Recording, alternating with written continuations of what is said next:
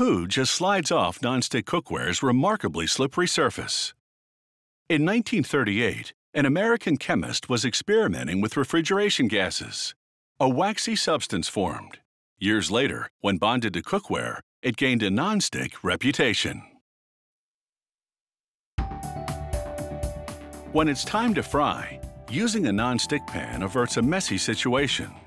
The nonstick coating is one of the slipperiest solid materials on Earth. Called polytetrafluoroethylene, the name is a bit of a mouthful, but the appeal is simple. Food won't get stuck on this non-stick surface.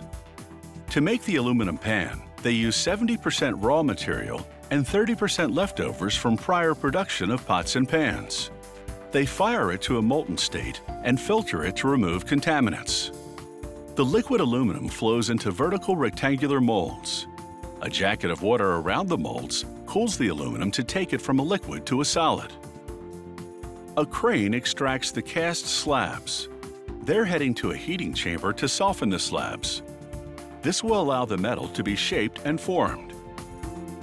A saw slices the slabs in two and trims the ends.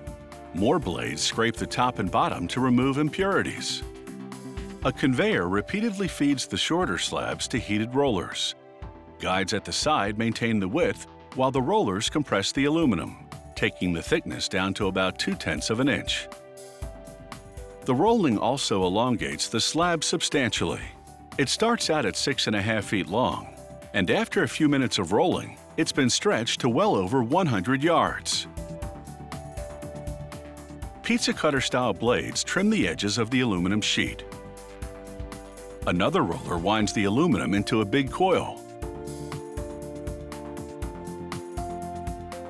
They then unwind it and squeeze the aluminum to flatten it.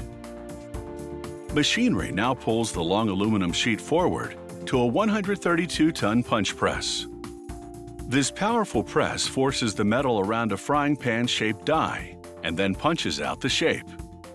The freshly formed aluminum frying pan falls onto a conveyor below. The leftover aluminum will be used to make new frying pans. The pans now ride a conveyor through a washing station, where they're cleaned and then treated with sodium hydroxide. This opens the pores of the metal to allow an enamel coating to stick to the outside and the nonstick finish to adhere to the inside. A worker inspects the pans and places them upside down on spray fixtures. It's a tight fit to shield the inside from the enamel spray that comes next. The pans spin on the fixtures and twirl by the spray nozzles, for an even application of enamel to the exterior of the pans. A clear glossy coat follows. The frying pans transfer to a dryer conveyor.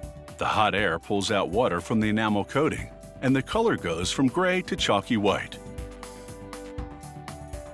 An automated squeegee silk screens the company's name and other information onto the pan bottoms. They now enter a long curing oven heated to 1040 degrees Fahrenheit. The cure toughens the enamel, deepens the color so it turns gray again, and it adds gloss.